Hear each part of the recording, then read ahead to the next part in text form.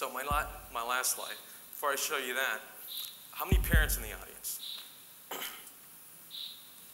right, cool. So about a half. So one thing I want to be able to say is that, and I say this to a lot of people that have parents, and I basically said that parents have two things that they can do to, to their children, they can give throughout their life.